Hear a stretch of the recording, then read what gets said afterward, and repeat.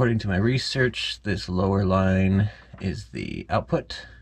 So I'll put the sensor on that. That way I get a better reading of what the temperature of the oil is inside the transmission, rather than the reading of the oil after it goes through the cooler.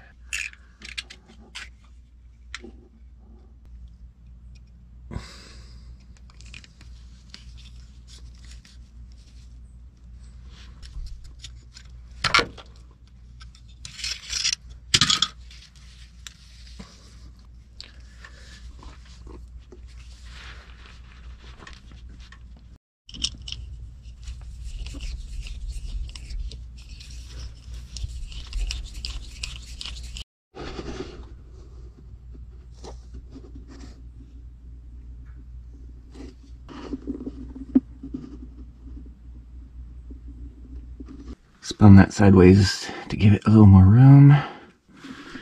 Gonna put some wire loom on this these hoses at some point, but I still don't have the right size. I need something a little bigger. Since they rub on some places though, there's no wear marks or anything. I still want to be careful with that.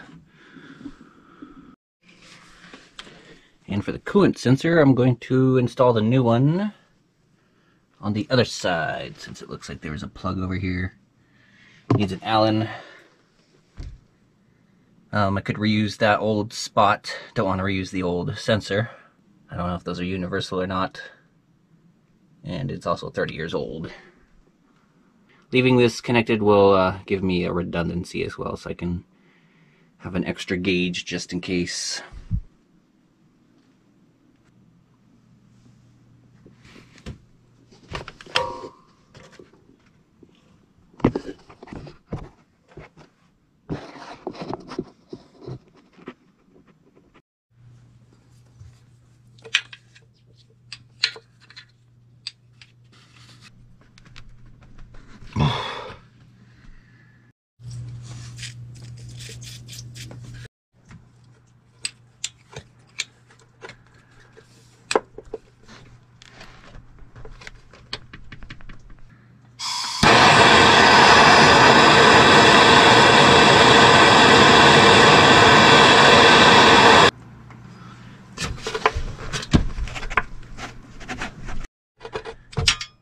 Okay, that just doesn't want to come out of there. I don't feel like forcing that any harder than I already am.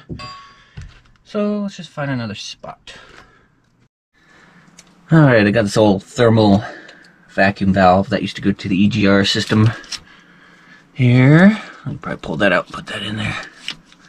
Its place.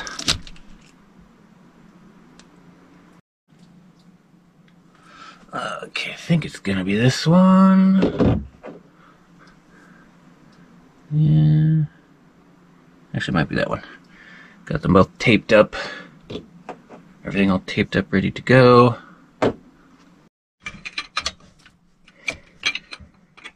Okay, that's just about out of there. Let's get that to where I can take it out by hand. And I can do a switcheroo.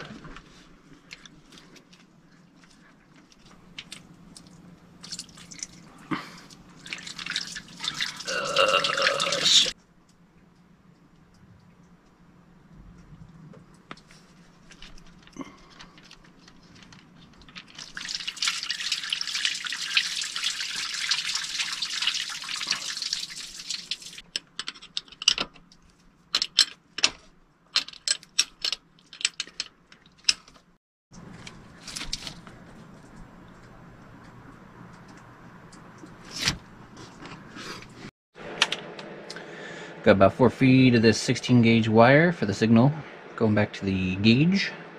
Gotta put a couple ring connectors on there.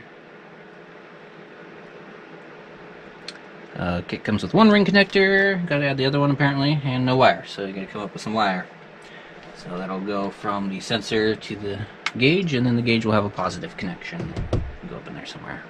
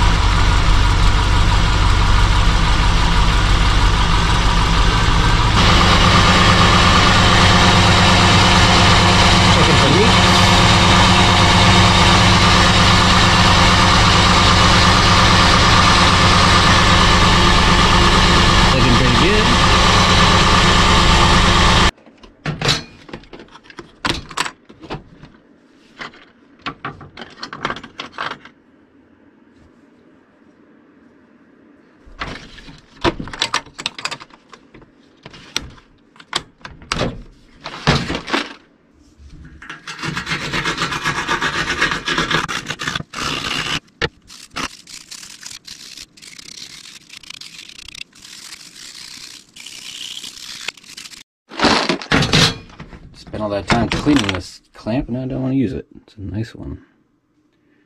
Tridon USA. That cleaned up a lot nicer than I was thinking. Let's just use a cheap hose clamp for this next step.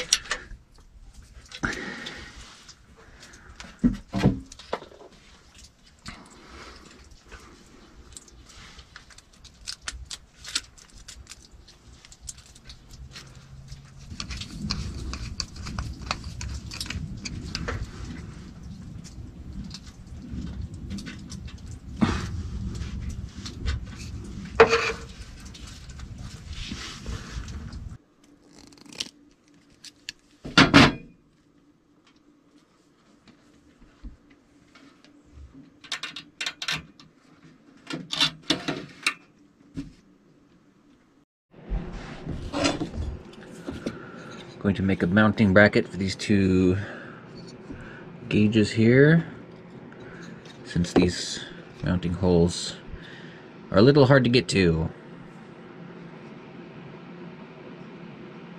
Normally you would just take off this bracket, install uh, the pod bracket, gauge holder,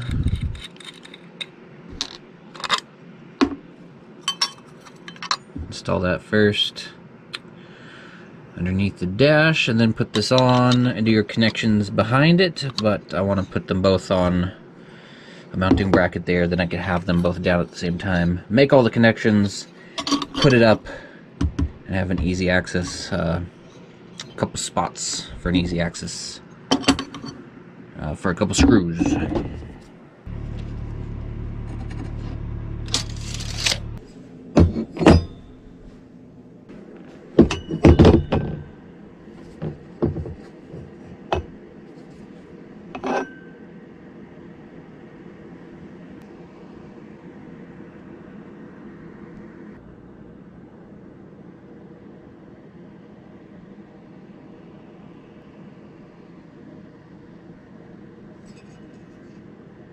Okay, now going to assemble everything while it's on my desk instead of trying to do it all behind, uh, up under my dash.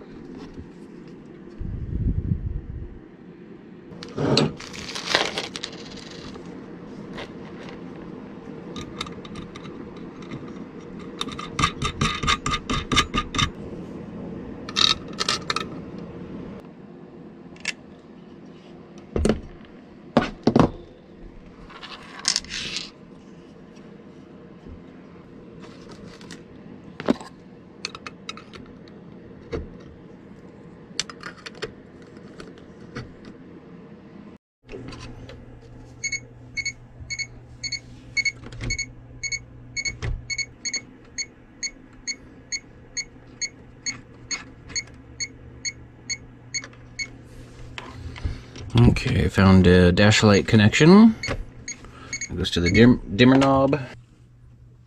Okay, got one of these splicers on there. Not the biggest fan of these, but they work good in tight spaces. They're quick. And uh, they don't fail too often. And not if you do it right. So let's run this down below. Oh no! I must have bumped that with the speedometer and Oh man, this stuff is just brittle. Holy crap. I guess time to switch these out to LED.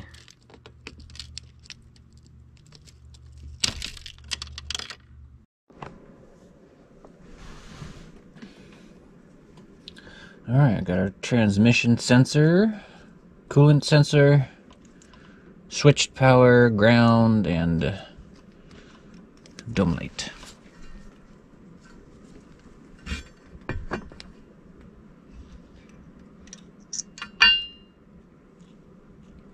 Uh, let's see, put the transmission on that side.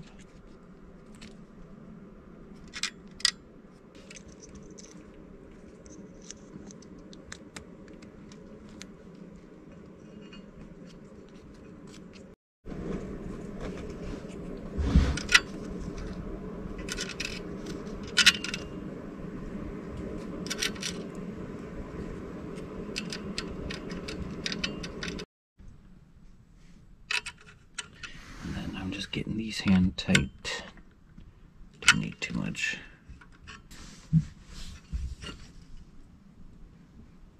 All that'll do it for the connections. Let's do a quick power check. Check the lights. Um, it's cold, so the needles won't do too much, but they should jump a little bit. Yep, both jumped up. Let's check the lights. All right, got the lights. They dim.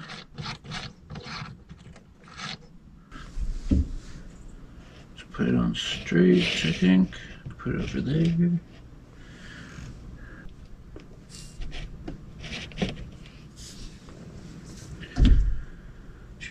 Actually, that's a good spot, like that.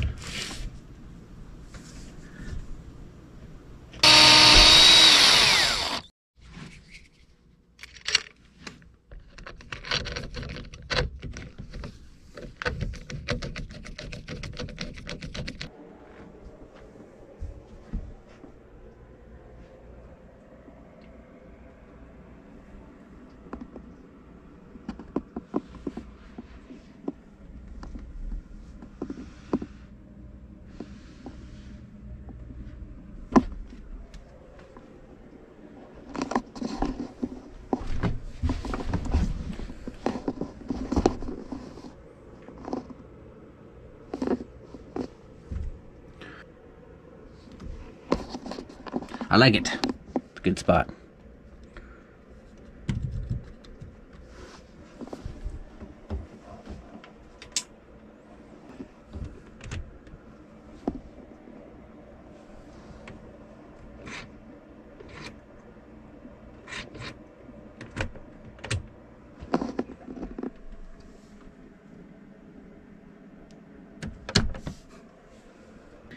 Next step will be getting that cooling fan in there for the transmission. And then uh, help that cool down a little bit going up steep hills. My floor lights have uh, the same type of lens, so I was able to salvage one of those and fix that issue.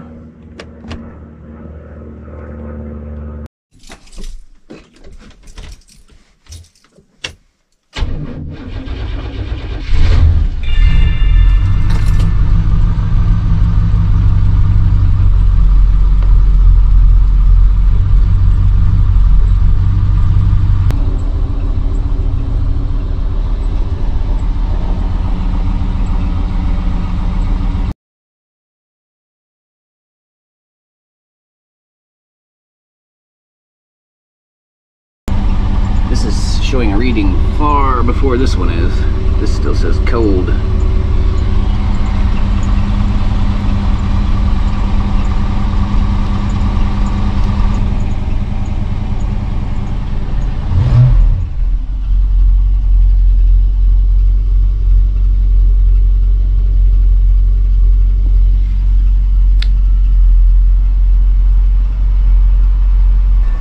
Yeah, this gauge is probably going to read high for a little while until the thermostat opens.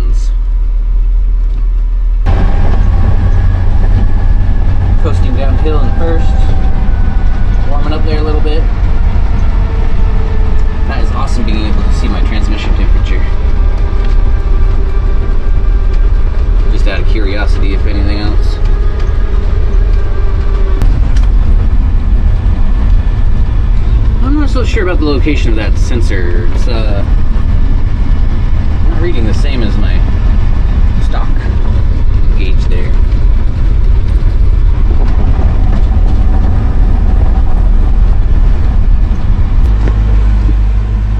Alright, I don't know. 210 degrees does not seem quite accurate, but uh,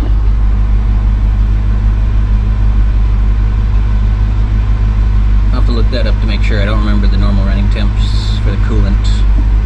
Transmission, that's what that's reading, 180, a little over 180. That's still reading normal like it normally does. The cooling, the big, uh, the cool down fans have not kicked in yet, so I know that's, if that's high, that's way off. Didn't seem too accurate though. Main China crap, of course, but, uh, well, at least it'll be easy to switch them out for something else if these aren't going to job. Actually, come to think of it, I remember seeing a little adjustment knob or trim pot, a little adjustable uh,